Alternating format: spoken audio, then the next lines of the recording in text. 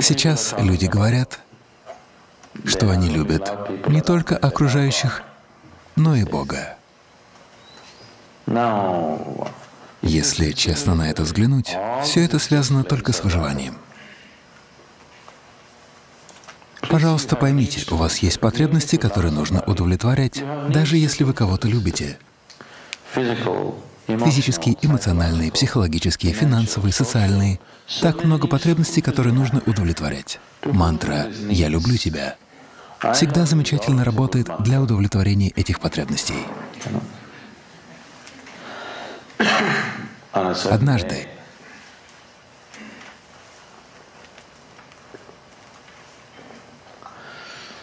Шанкаран Пилай пришел в парк.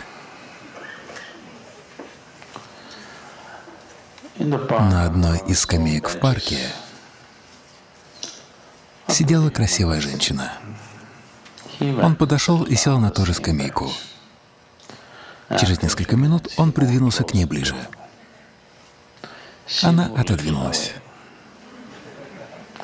Еще через несколько минут он снова придвинулся ближе. Она отодвинулась и оказалась на краю скамейки.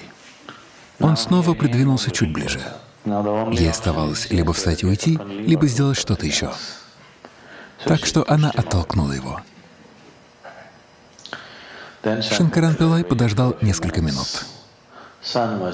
Был закат. Во время вечерних сумерек можно много чего сказать. Он встал на колени и сказал ей, «Я люблю тебя. Я люблю тебя так, как не любил никого в своей жизни». Это сумеречная зона. Если бы он это сказал в разгар дня, никто бы ему не поверил.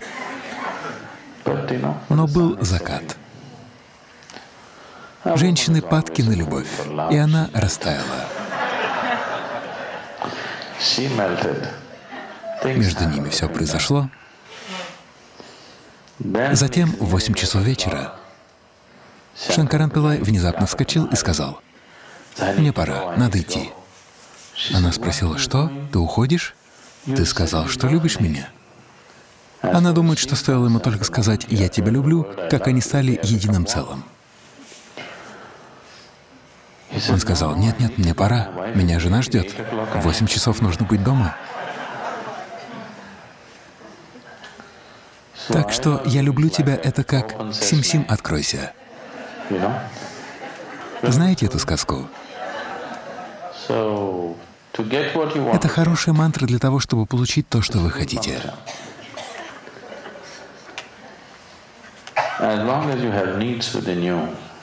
Любовь не возникнет, пока у вас есть потребности, потому что куда бы вы ни шли, вам нужно будет удовлетворять свои потребности.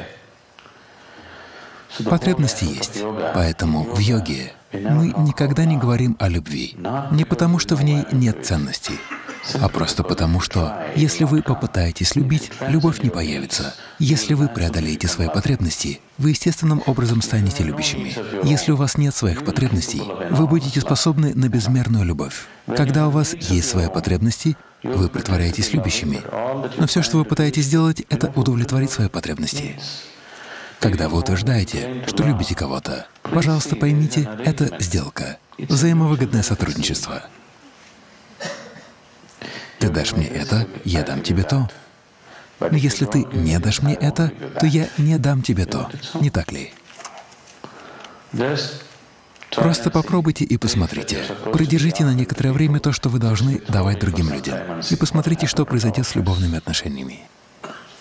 Потребности нужно удовлетворять. Я не говорю, что ваша жизнь уродлива. Есть потребности, которые нужно удовлетворять, и вы их удовлетворяете. Эта сделка — все в порядке, в этом есть своя красота. Когда люди готовы удовлетворять потребности друг друга. Но не называйте это любовью, при этом упуская любовь. Если вы будете называть что-то любовью, то истинная любовь никогда не случится, не так ли? Допустим, сейчас у меня хорошие отношения, но когда-нибудь я хочу испытать и любовь. Не так ли? Оставайтесь открытыми, не уничтожайте ее, называя тем, чем она не является.